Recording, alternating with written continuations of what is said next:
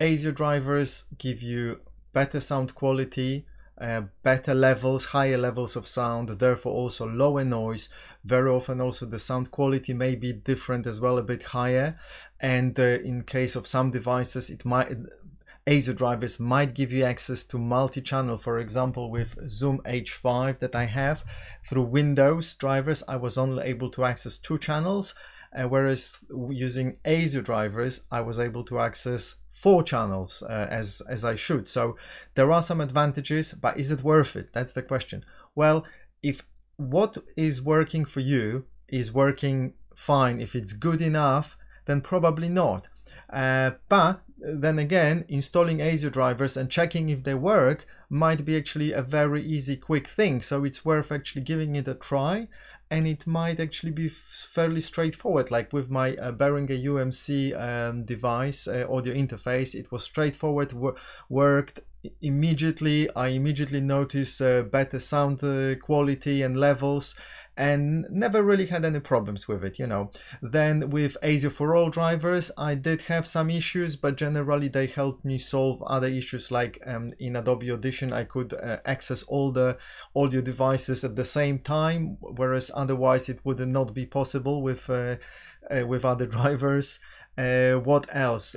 Zoom drivers they are a little bit tricky don't always work as i explained in my other videos so that's a bit of a pain. Then the latest ASIO4ALL drivers uh, 214 version didn't work for me and i was struggling and doing this and that and then i decided to roll back to 2.13 that solved the problem. So um, is it worth it? You decide you know if quality is super important to you then yes absolutely. If extra channels are important to you yes you know so i do recommend them. What about the latency? Well do you really need to have like a super short latency? Then yes it is maybe worth it. When when is it worth it? I don't know. When you do maybe live streaming in some situations uh, but again it's easier to kind of synchronize the video and audio uh, in your software. For example, in OBS Studio, I have an option to uh, delay the. Uh, so let me actually show you. So in OBS Studio, I go to Advanced Properties, and then I have this option of delaying.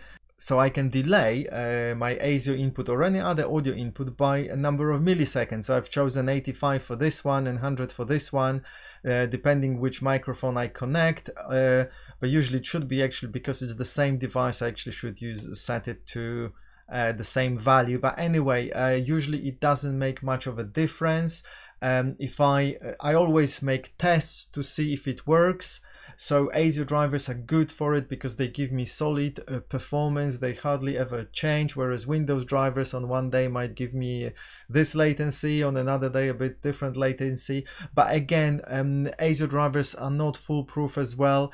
And um, decreasing latency on them often introduces glitches. For example, ASIO4ALL, I've noticed I uh, it was safest for me to use the 2048 um, samples uh, buffer, whereas uh, with uh, ASIO UMC for Behringer, only one fourth of that, 512 was enough, and probably I could maybe even make it like super small. I don't know, I haven't tested it because I don't care.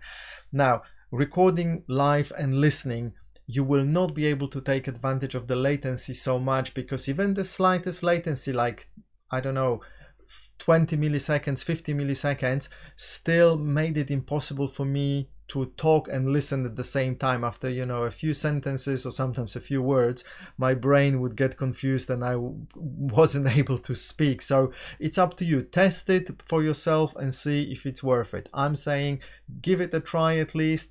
If it's not worth it you know that's okay. At least you've gained some experience. So thanks for watching guys.